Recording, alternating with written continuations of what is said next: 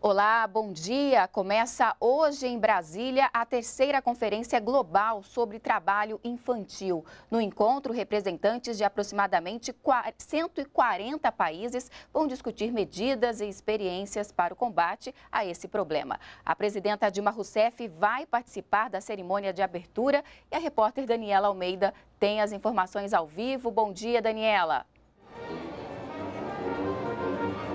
Bom dia, Malu. Bom dia a todos. É a primeira vez que essa conferência global sobre o trabalho infantil ocorre em um país e ela é realizada em um país fora da Europa. De acordo com a OIT, a Organização Internacional do Trabalho, no mundo, cerca de 15 milhões de crianças e adolescentes são submetidos às piores formas de trabalho, que causam danos à saúde mental e física dessas pessoas. Somente no Brasil, cerca de 260 mil crianças e adolescentes são submetidas a essas formas de trabalho, que podem ser, por exemplo, trabalho doméstico e também na agricultura. Mas, de acordo com a OIT, entre os anos de 1992 e 2011, o Brasil conseguiu reduzir em cerca de 57% o número de crianças entre 5 e 17 anos do trabalho infantil.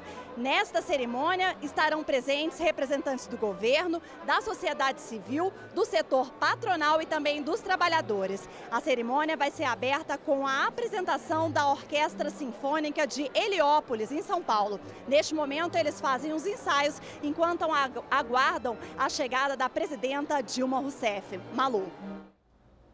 Obrigada, Daniela. E daqui a pouco a NBR vai transmitir ao vivo de Brasília a abertura da terceira Conferência Global sobre Trabalho Infantil. Continue com a gente aqui na NBR, a TV do Governo Federal.